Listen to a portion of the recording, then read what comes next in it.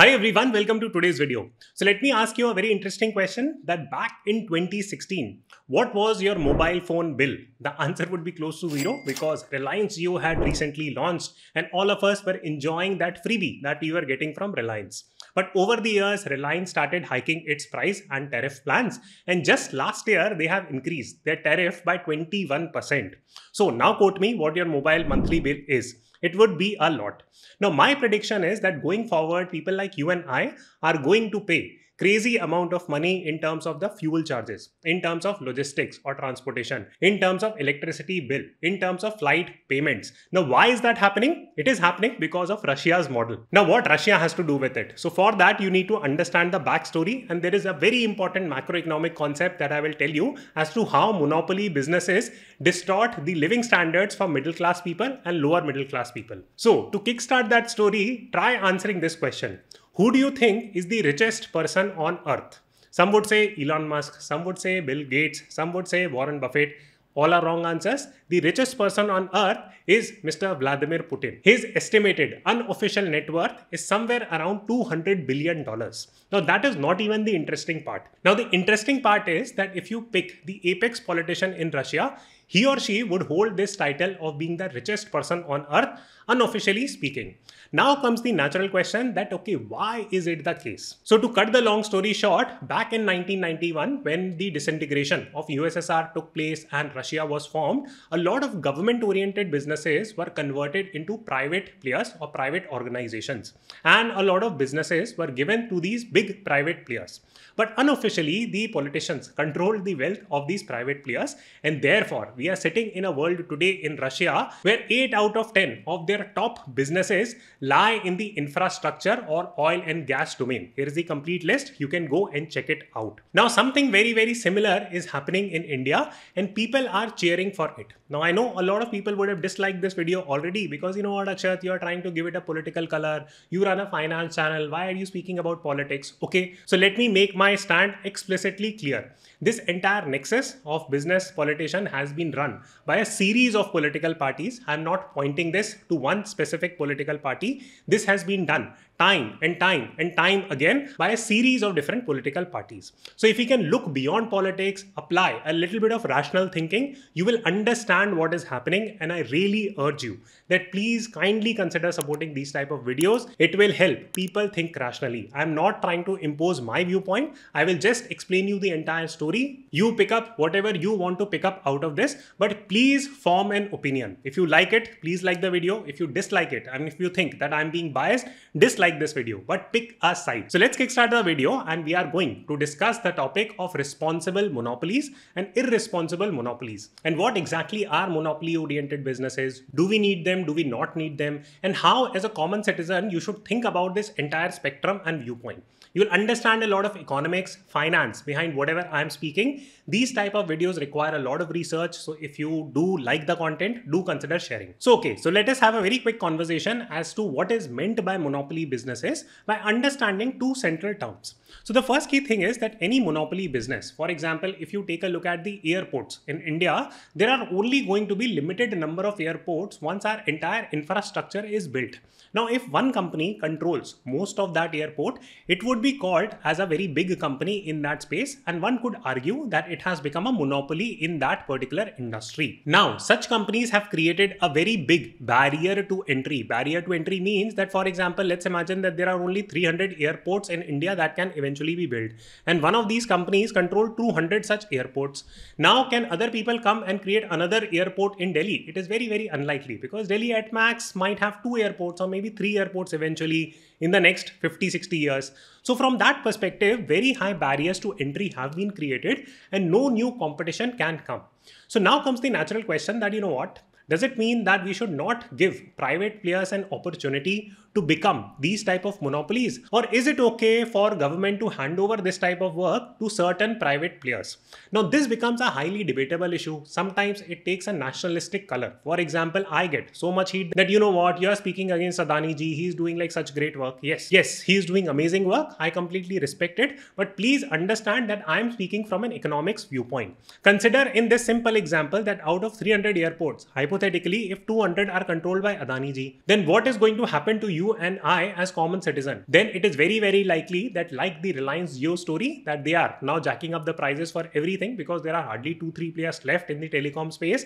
Similarly, if one company controls 200 airports, you will pay more money for the burgers that you eat or the book that you buy or the taxes that you pay for taking your flights, the parking space that you procure, etc. etc. Now, you might have a natural response that if they increase the flight ticket prices, then I'll stop using the airlines altogether. Well, very good. Now, can you travel from Kashmir to Kanyakumari in bus? Well, maybe you can, maybe you can't, but it will take a lot of time. And for a lot of people, taking a bus or a car is not feasible at all. This is a highly important product that will be used by people and it will not have a very high elasticity of demand. So I hope that you got the perspective and there is no clear line whether the government should outsource these monopoly oriented businesses to the private sector or not, but there has to be a certain oversight. And you tell me whether this is being done in a responsible way. Again, not targeting any particular party. This has been done by a bunch of different political parties. So I will just leave that conversation there. So now comes the second point that even if you assume that, you know what, government cannot be everywhere, it cannot manage like ports, it cannot run like power companies, it cannot do like 500 different things, it has to bring in private players. So then there is a difference between creating responsible monopolies and irresponsible monopolies. Now this is a tweet that I had done and I will name the groups directly. So I compared the Tata group with Adani group and look at the hate that I got. I just simply presented facts. And the fact was that it will take 16.4 years for Adani's to repay their debt and it will only take 1.5 years for the Tata group to repay their debt. Now you'll say that, okay, how did you get this number? Can you show some math behind it? Absolutely. Here is the math behind it. And this is called as cash flow to debt ratio. And you can see that for the Adani group, and these numbers are from September. So now the situation will be even more worse. So the total group was 936.6 and here it was 1216.6 billion rupees. So if you take a look at their free cash flow, so free cash flow simply means कि company के पास कितना पैसा आ रहा है, right? I mean how much money they are eventually getting. So from that simple perspective, if you do this entire analysis, you get this repayment time.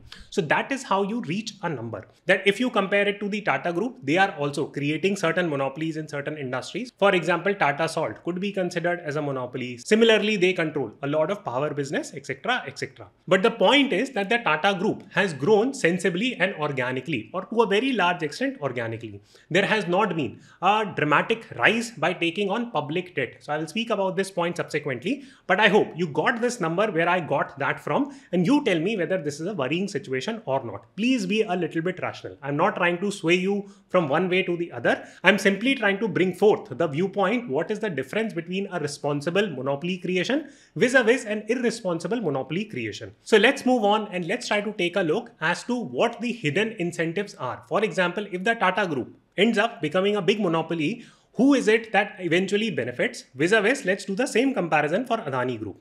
So here is the entire roadmap of the Tata Empire and they own all these different companies. And just for context, 66% of this entire space is owned by a company called as Tata Sons, right? Tata Sons. Now, what is the Tata Sun? Tata Sons is run by two different trusts and they donate a large chunk or a major chunk of that money to different philanthropies. So if the Tata group becomes big, most of that money would be donated in form of charities. Now would similar be the case in Adani groups? So who owns the Adani group? So again, here is the snippet and you can see that it is owned and operated by the Adani family. So here is the entire roadmap and I will present some finance around it so that this concept sticks. So there are four specific points that you need to understand. See, if there is an independent business, for example, I have started this company called as Wisdom Hatch. And if I do a wonderful job and if I am able to educate every single person about finance and in that process, I become a multi-billionaire, there is nothing wrong. Why? Because this is a private business that I've started. I've not taken anyone's money. I'm not burning anyone's money. I'm not taking public's money. This is entirely a private business. But on the flip side, what majority of these infrastructure driven monopolies, for example, Tata is also an infrastructure driven monopoly and Adani's are also an infrastructure driven monopolies. What do they typically do? Okay, so this is how the flow works and they end up procuring a lot of debt from banks. For example, recently Bank of Baroda made the announcement that they are going to lend more money to the Adani group. Similarly, LIC, it is not a bank, but again, it is funded by public money. So all these institutes give one form of debt or the other to these big monopolies. So how are they getting their money? To go and build airports, go and build ports. How are they doing it? Well, by procuring public money one way or the other. Then what happens? They end up creating a monopoly. Now, then you need to take a look at the most important step that hey, when this entire monopoly is created, two things are going to happen. Either that company is going to win, it is going to become really big. Who benefits in that case? In Tata's case, they end up giving majority of it to charity, and you make the same analysis for the Adani group.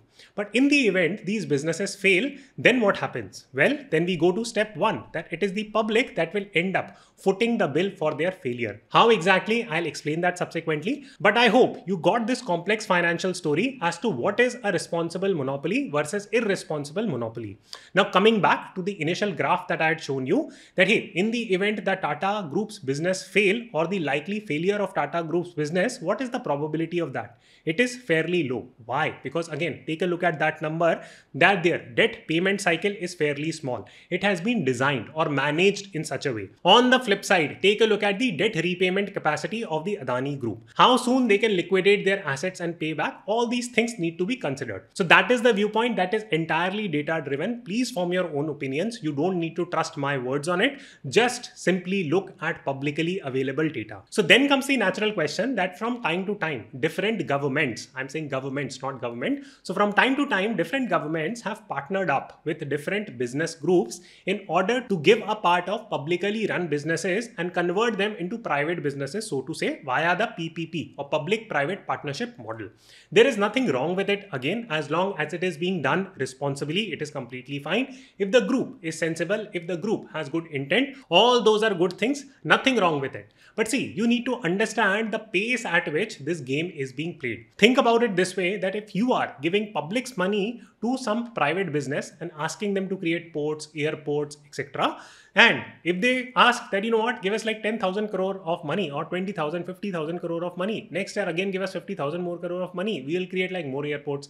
This is just too fast an expansion. So please keep that in mind. And just for context, let us pick the case study for airports just to show how irresponsibly this has been done. There are eight public private partnership run airports in India. Seven of them have gone to Adani. You tell me whether this is being done sensibly or not. Now, I will not speak more, otherwise, this issue becomes political. But I hope you are able to draw your own inferences out of it.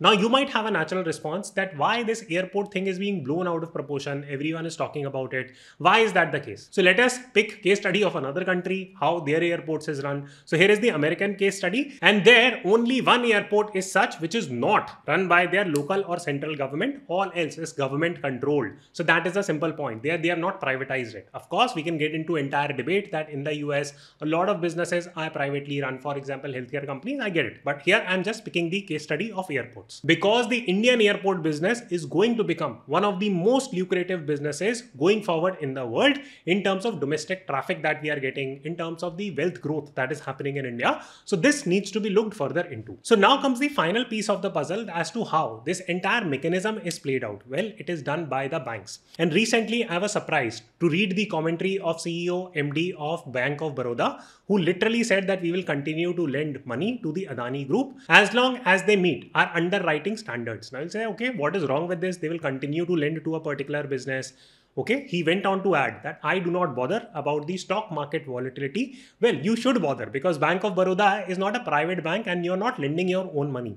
You are lending public's money. And if some company whom you have lent money to, it is going through an uncertain period, then you have to hold on. You can't give public statements like that, you know what, we will continue to lend them. Now, you might say that Akshat, you have some hidden agenda. Do you know more about banking than MD CEOs? No, I do not. But here is the track record that I can see that over the last 10 years, this is the amount of public money that Bank of Baroda has lost. So when they talk about their underwriting standards, please take it with a grain of salt. And I, as a common citizen, has every right to ask these type of questions. It does not make me biased. It just simply makes me logical. A person who takes a look at data and asks relevant questions. And that is the same approach I would encourage you to understand. Now, given how complicated the finance world is, the lending space is, All this is given a nationalistic color right now. For example, Akshat is against Indians getting loans from Indian banks. No, that is not the point. That is the reason why I brought the example of Tata's. I'm not against businesses getting loans, but you please need to understand the difference between responsible and irresponsible monopolies,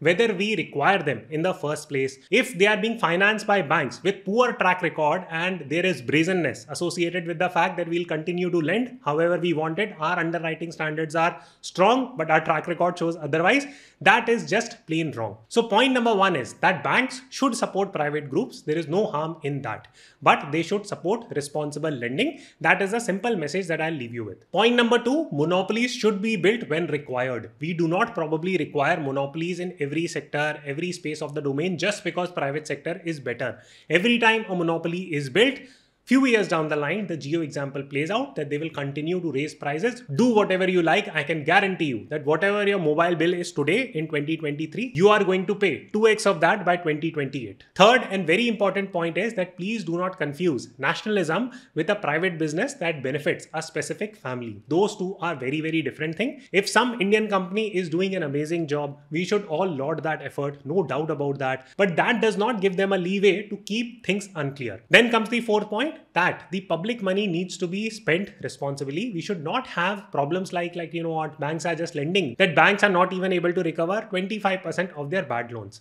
Well, it is very easy for me to shut up and not speak about these topics, but I took a stand. I hope that you would support me. Why? Because of the simple fact that back when Vijay Mallya, Nirav Modi took loans, ran away, and now Vijay Mallya actually sits on his Twitter on every bank holiday, tweets about and mocks Indian citizens. That was irresponsible capitalism, and I hope that people do not lose their sense of what is real and what is not, and preserve their sense of data analysis and taking decisions using their brain because God has given all of us a brain. Please look at facts independently and please reach a conclusion and please do not associate everything with nationalistic pride.